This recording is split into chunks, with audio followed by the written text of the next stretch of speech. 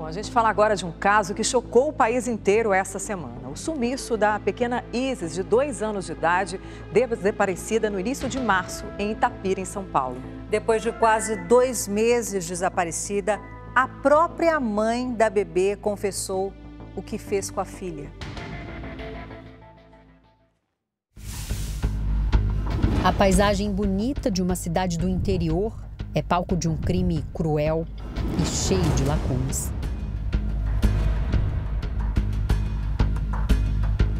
O desaparecimento de uma criança de um ano e dez meses.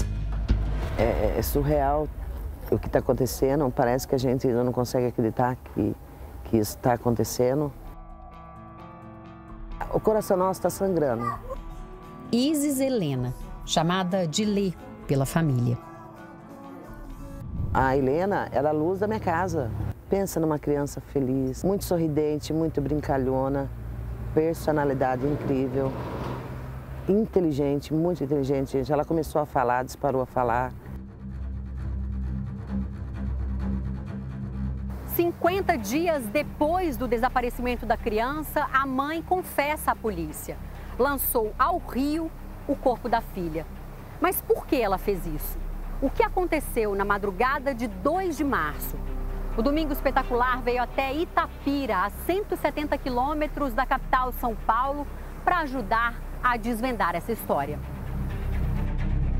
Isis Helena nasceu prematura, aos cinco meses de gestação. Permaneceu na UTI neonatal por outros quatro meses. Enfrentou muitas batalhas para conseguir viver e venceu. Gilmara conta que demorou a descobrir que era avó. Eu já amava sem saber que era minha neta, porque na verdade ela falou que não era do meu filho. Ela começou a ficar a cara do meu filho. Toda vez que eu olhar para ele, eu vou lembrar dela. É por esse motivo que a gente achou que era, que era dele. Fizemos o exame DNA particular. E saiu que é dele. Foi o melhor dia da minha vida. Das nossas vidas. Né? A Jennifer e o Rafael, eles namoraram? Como não, é que foi o relacionamento? Não namoraram. Foi coisa assim muito rápida. Uhum. Foi muito rápido mesmo. Foi algo muito rápido. Uhum. Então o Rafa não acompanhou a gravidez porque ela falou, que, falou para ele que não era dele. Além da prematuridade, Isis Helena tinha microcefalia, uma malformação congênita em que o cérebro não se desenvolve completamente. Ela tomava remédios controlados, mas vinha evoluindo muito bem, segundo a família. Gilmara conta que era comum notar roxos e machucados na neta. Numa ocasião, teria levado a criança ao médico por causa de um inchaço na cabeça. E a última foi do carrinho. Diz ela que caiu do carrinho, né? Aí trincou o crânio dela. Aí eu levei ela no hospital. Estas fotos mostram a menina machucada em diferentes momentos. Algumas delas foram levadas ao conselho tutelar da cidade exatamente um ano atrás. O pai da criança decidiu pedir na justiça a guarda da filha. Que ainda está em andamento, né? Estava, né? Porque a criança, quando estava viva, estava o processo, mas não tinha nenhuma resposta da justiça. Infelizmente, não deu tempo. Jennifer é uma jovem de 21 anos que mora com os avós. Segundo o inquérito policial, usuária de drogas. Além de Isis Helena, que era caçula, Jennifer tem outros dois filhos. Ela se mostrou extremamente fria, calculista, insensível, com mudança de comportamento em frações de segundos. No primeiro depoimento à polícia, ela contou que por volta de 13 e meia da manhã, a bebê acordou. Ela deu uma madeira, remédio para febre e dormiu. Às sete da manhã, ela saiu de casa para levar o filho mais velho à creche e deixou a bebê dormindo. Voltou e saiu várias vezes na parte da manhã. Isis Helena teria ficado em casa com o bisavô, que tem Alzheimer. Ela estava dormindo no meu quarto e ele estava dormindo no quarto dele, entendeu?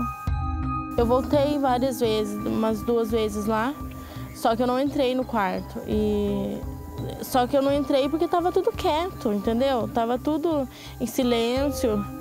Jennifer alega que numa dessas voltas para casa encontrou a porta e o portão abertos e não viu mais Isis Helena. Primeiro instante, a gente pensou, tipo, quem pegaria uma criança? Sim. Rafael, o pai da menina, começou a questionar a irresponsabilidade de Jennifer. Os dois se desentenderam por causa disso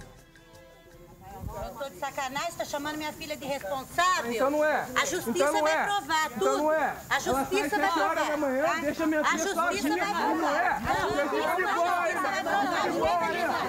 Só o pai que está sofrendo, a mãe não está. A mãe não está. Até que presa, Jennifer confessou. Ela mesma jogou a filha no rio da cidade.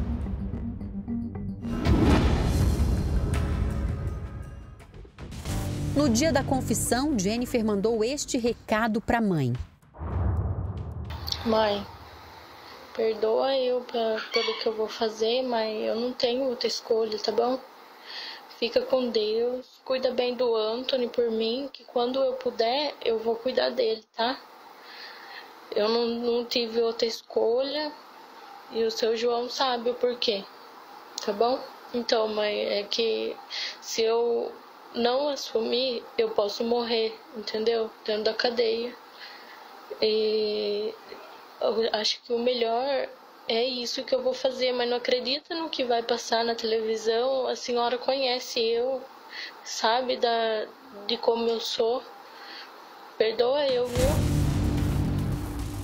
No último depoimento à polícia, Jennifer contou que deu mamadeira para bebê às três e meia da madrugada que às 6h15, quando acordou, tocou em Isis e viu que ela estava fria e que tinha espuma e leite nos cantos da boca. Estava de barriga para cima, morta.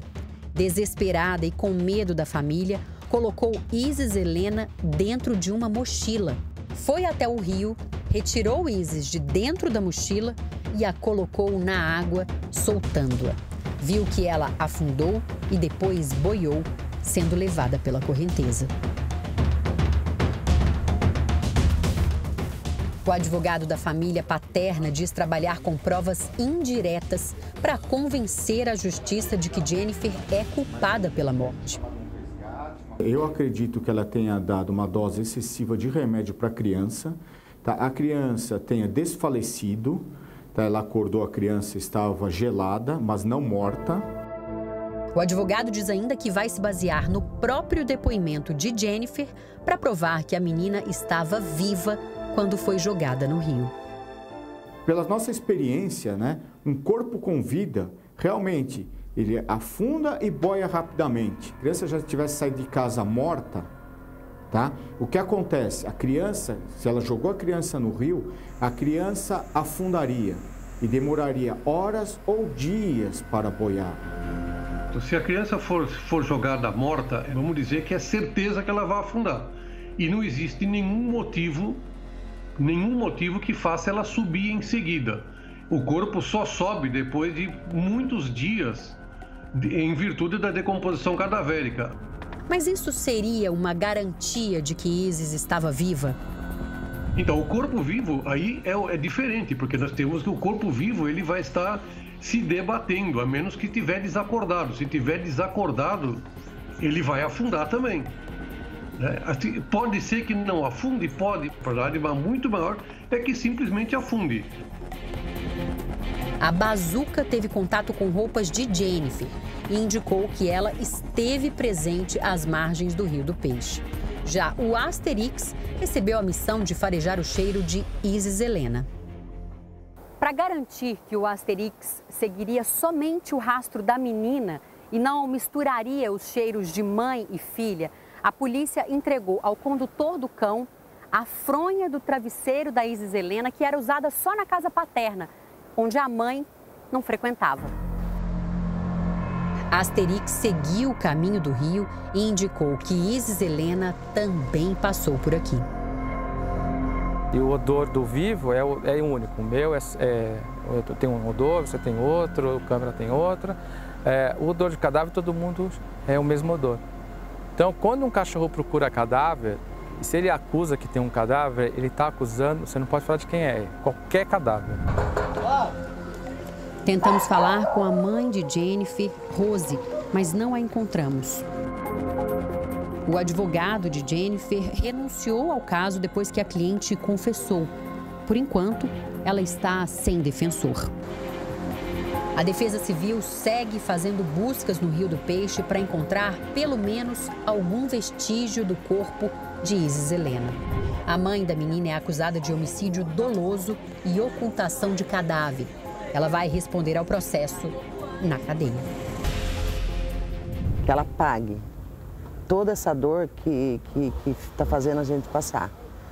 Porque a gente sempre quis a, a Leninha. A gente sempre quis.